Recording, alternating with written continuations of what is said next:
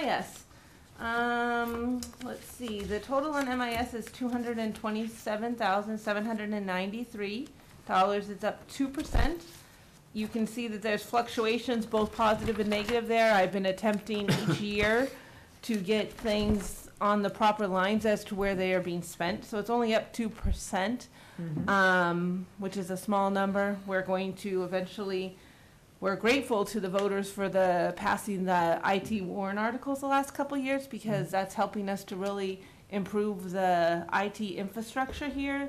And with the increased cost of computers and licensing on computers, we haven't been able to absorb it all in our budget, but it's been part of that warrant article. So we're a little behind on our five-year replacement of computers, but not too bad. We're gonna hopefully get caught up this year. That's our goal. Um, so that we'll be back in line, because that was one of the things when I became the finance director slash IT and whatever else hat I might put on in the morning. Um, our goal was to really improve IT, bring them into Yeah. this year, you know, new website. I mean, I hope that people have seen some differences that we are making, and then there's a whole bunch of differences behind the scene. And those two guys, uh, Paul and Dylan, are great and do a great job. Good. And Good, so hopefully we'll be able to keep moving forward with that. okay. Any questions there? No? No? You can move on about the When- insurance? I, I, oh. I do.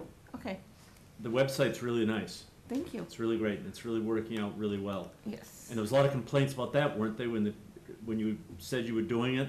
There were complaints, yes, Yeah. but it's come out very good, good, I It hope. came out excellent, Yeah. excellent, and it's very user-friendly. Yeah. And it's, it, you update it constantly, I think, which is really nice. The thing I have a question on is, uh, staff development.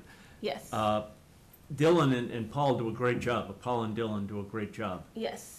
Are- we spending enough on sta- ta- s- staff development? Are This are year we have not. Um, last year we did though. Um, I think, well, as you can see that last year we spent twenty-five hundred. Mm. We, this year we've just had so many projects going on and with the default budget, we're more cautious as managers to make sure that we get done and have money and we have to leave money somewhere in case someone else needs it. You know, it's Right. all one big, it's a bottom line budget. And Yeah. so I really have held back on IT this year. That's why we're gonna hopefully get our computers and stuff ordered now because I, sitting where I sit, even though they're a small budget, and I'm watching everyone else's budgets, that some of them I don't have any control over, but I just feel like Yeah. you have to leave money somewhere for a little bit. So, um, last year I can tell you that Paul went to either Texas or Arizona or something to a big, they call them nerdvanas or nerd thing, nerd events and stuff. And so he went there.